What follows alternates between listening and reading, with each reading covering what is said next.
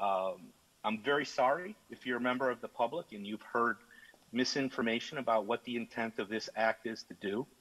There are numerous people, both within our community and outside our community, who seem to have intent to harm the reputation of our community, to lie about the activities of our government, and quite frankly, at a time where we are right now, um, this conduct is is regretful, uh, to say the least.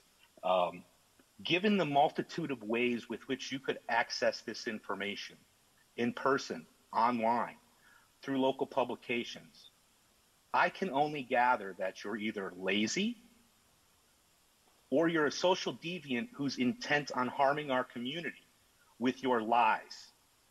And I, for one, will not stand for it.